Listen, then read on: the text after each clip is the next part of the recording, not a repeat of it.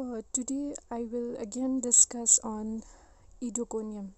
So on that day we had already discussed on the thallus structure, then the cell structure, okay, as well as the growth and cell division. Also we had discussed the in that previous video. Now we will start with reproduction. Okay, reproduction in Oedogonium so as you can see that uh, actually Oedogonium it can reproduce by vegetative reproduction asexual as well as sexual reproduction. So we are going to start with the first one that is vegetative reproduction. Now in vegetative reproduction the vegetative uh, multiplication it takes place by either of uh, these two methods that is fragmentation and akinetes okay? So what happened in fragmentation? Like many other algae the small fragments okay there are small fragments of Oedogonium filament. They have the capability to grow into complete filaments under favorable condition okay? So in um, actually uh, here in these uh, there are small small fragments in case of uh, fragmentation process. These small fragments of Oedogonium they are they have the capability to grow into the larger fragments into complete fragments under favorable conditions. If the conditions are favorable for the growth they will they are going to grow into complete uh, filaments and actually the fragmentation process okay in vegetative reproduction it takes place by either the accidental breaking of either of these filaments the uh, intercalary cells okay of the accidental breaking or it may be due to the dying of these fragments or due to dehydration of the intercalary cells. So due to this process the small fragments are formed and on the favorable condition those small fragments they will grow into complete major fragments okay? So that uh, that is uh, fragmentation that is uh, reproduction through fragmentation okay? Now the next one is the akinetes these akinetes they are actually the thick walled reddish or brownish structures okay? They are reddish or brownish structures which are usually formed in small chains as you can see here. Chains of akinetes okay? They usually form in small chains during favorable condition sorry. During uh, when the condition is unfavorable then these akinetes will start to form and they will germinate only when the condition is favorable and they will form new filaments.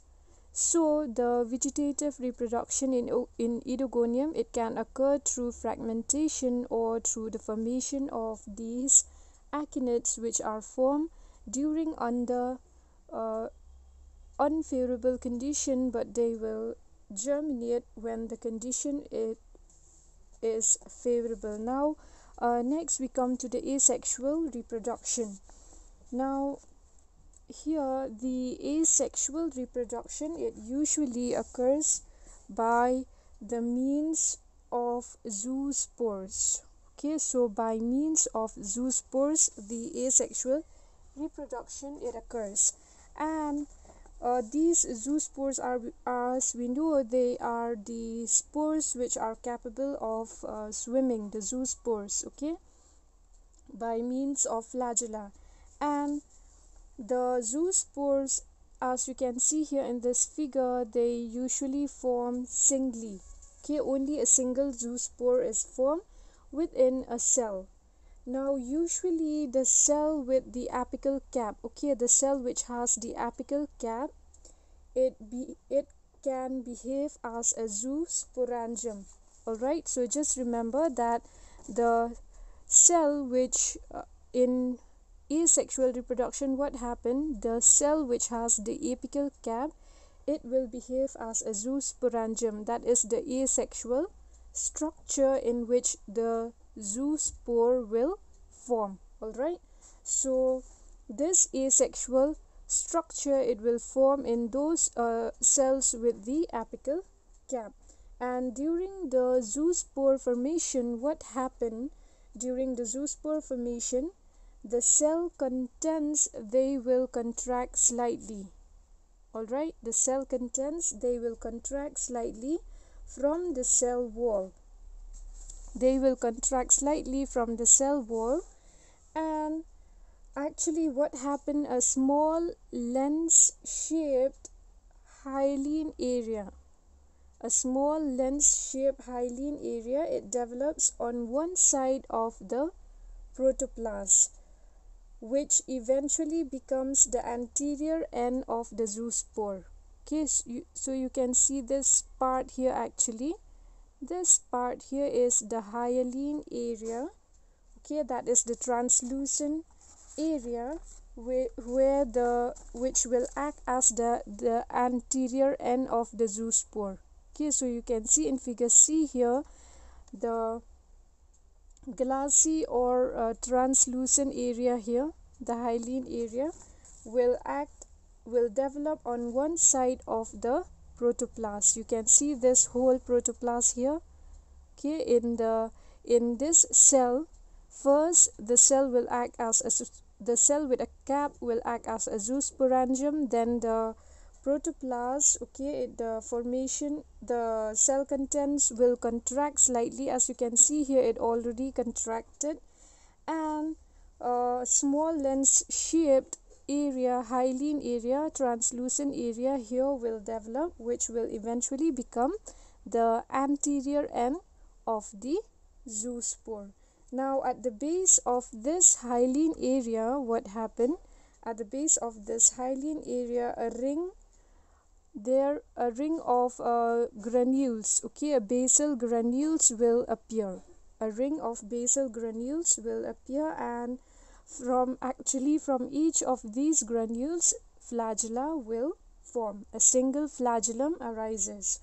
And the basal granules it remained uh, connected with each other by the fibrous strands. Okay they remain connected with each other by fibrous strands. And if you take a look at the mature zoospore when the zoospore is formed you can see that the zoospore is ovoid okay it is ovoid then it is uh, spherical or it is pyriform as you can see. Pyriform meaning uh, pear shaped okay?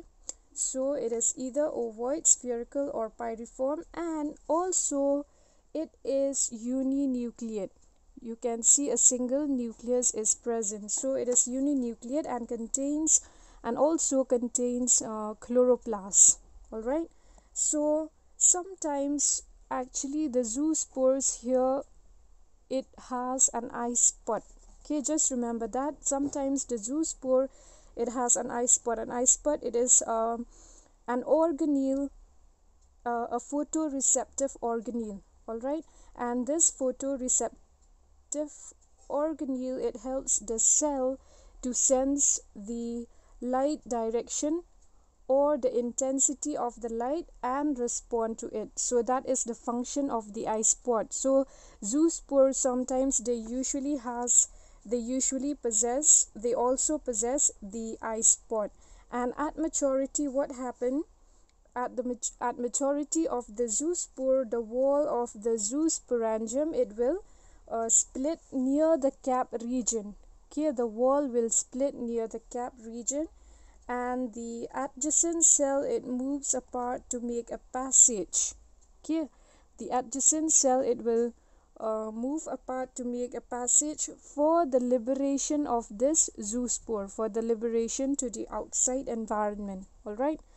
So it is believed it is believed that the mucilaginous substance is secreted at the base of the uh, zoospore in sporangium. So here inside the sporangium, it is believed that a mucilaginous substance is secreted. That is a mucilaginous substance, a substance which has a, a gelatinous consistency or a viscous uh, since consistency all right a viscous substance or a gelatinous substance will be secreted in the zoosporangium at the base of the zoospore which aids in the extrusion of the zoospore after absorbing water. All right? It will export the which this uh, zoospore will be export outside the zoosporangium after it absorbs water.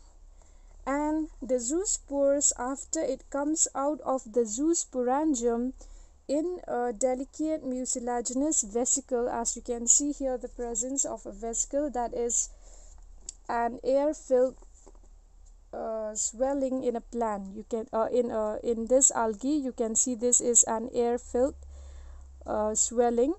Okay the vesicle. Then along with this the zoospore will be will be uh, will come out from the sporangium. Okay will come out of the sporangium in a delicate mucilaginous vesicle.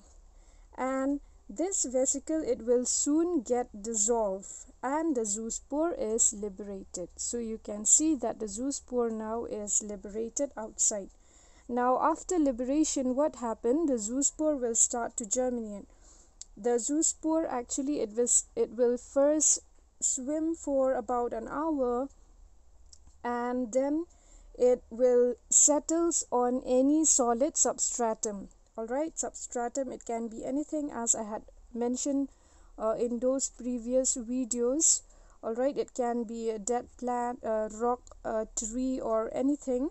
Okay to the it will attach to a solid substratum with its anterior end out uh, downwards all right so it will attach through its anterior end to the substratum and during that time when it swims for an hour, it will attach to the substratum with its anterior end downwards and it will retract its flagella. Okay, it will retract its flagella and it will start to elongate considerably. As you can see here in figure F, it starts to elongate figure F and figure G. So from E, F and G, you can see the difference.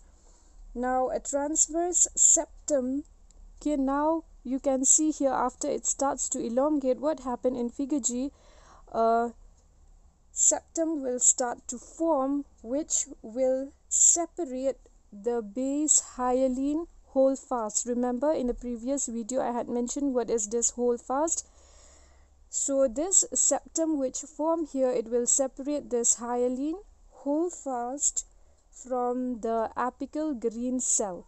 All right from this green cell. And what happened to this green cell? This cell will start to divide repeatedly to form a new filament. So you can see this is the whole thallus structure of Oedogonium so it already started to form a new it will repeat it will divide repeatedly to form to give rise to a new uh, thallus structure to a new organism okay to a new filament